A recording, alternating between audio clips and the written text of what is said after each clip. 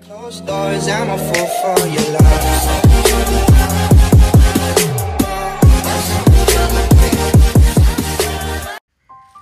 Good morning, good morning!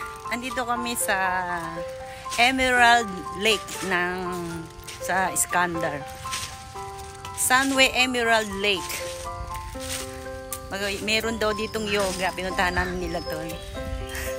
Puntahan namin. Ang ganda ng place. Sa Iskandar to.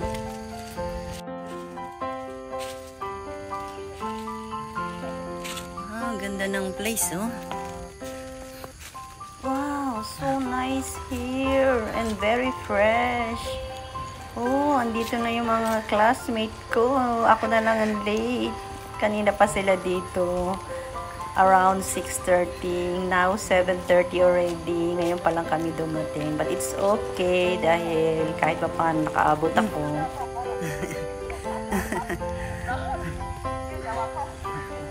wow, so nice.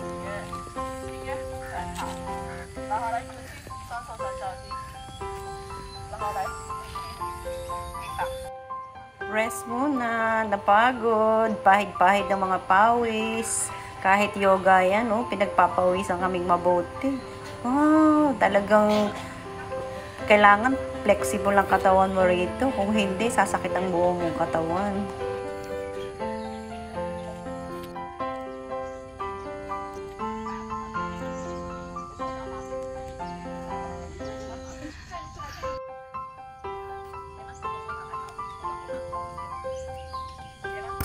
Okay, higa muna kami kasi magme-meditation na kami. Last na namin ito.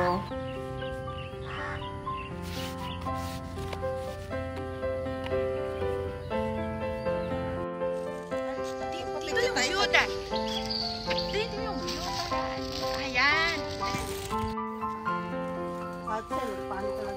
Mm. Laukang! Master! Ayan, sarap nga eh. Oh. Uy, dito pala Di ba? tayo pwede mag-picnic. Oo. Tingnan kaya natin, maglakad-lakad tayo. Oh, pwede rin. Mag-isang ikot kaya tayo doon. Oo, tingnan natin. Iwanan natin kay Maynit. Eh, pwede tayo mag-pat.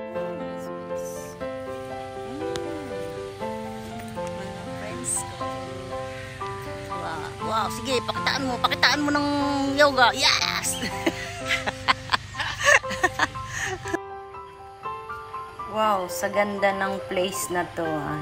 Hindi nakakasawang puntahan. Kahit araw-araw sarap mag-exercise.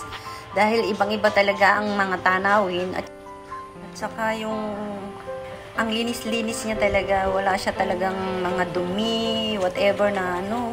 Wow, talagang very relaxing dito. Lalo pagka ikaw mag-exercise o kaya yung mag-yoga ka o kaya ay mag ah, zumba. Wow.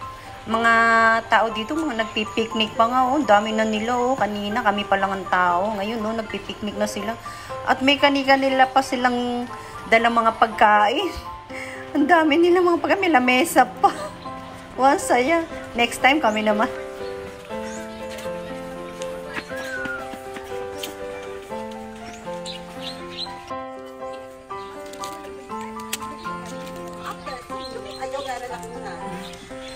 Sana kung may pagkain tayo dito, nakaupo tayo dyan. Wow, sarap naman. Wow, tsaka yung hangin niya, no, very fresh. Di ba? Sarap dito. Yung...